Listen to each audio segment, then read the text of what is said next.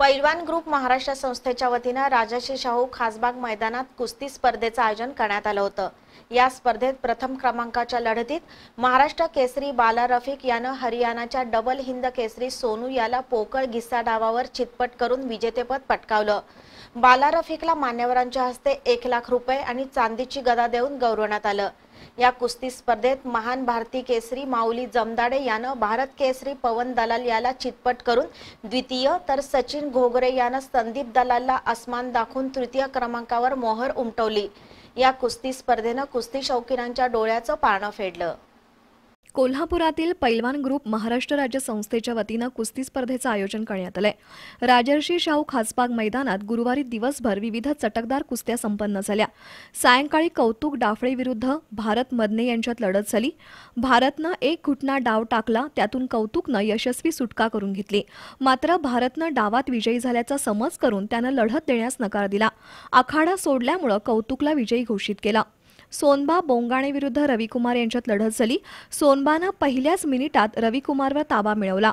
त्यानं पाय घिस्सा लावून रविकुमारला चितपट केलं. मुन्ना झुंझुरके आणि राजेंद्र सूळ यांच्यातील लढत बरोबरीत राहिली.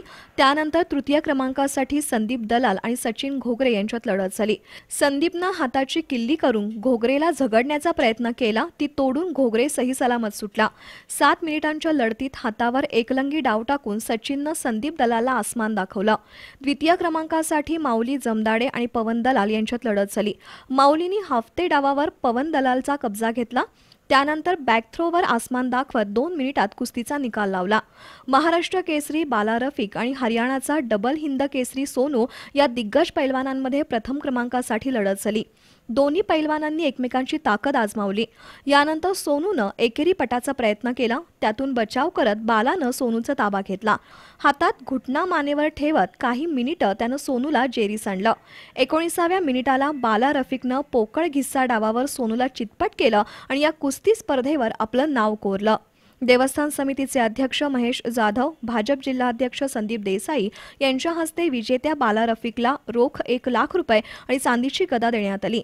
यावेळी मारुती जाधव अनिल बोरकर राम सारंग हिंदकेसरी दीनानाथ सिंह ऑलिम्पिकवीर बंडा रेठरेकर संभाजी पाटील असलम काझी संपत जाधव भारतीय कुस्ती महासंघाचे उपाध्यक्ष D R Jadhav Ashok Desai advocate Sampat Powar यांच्यासह कोल्हापूर जिल्हा शहर राष्ट्रीय तालीम संघाचे मान्यवर उपस्थित होते.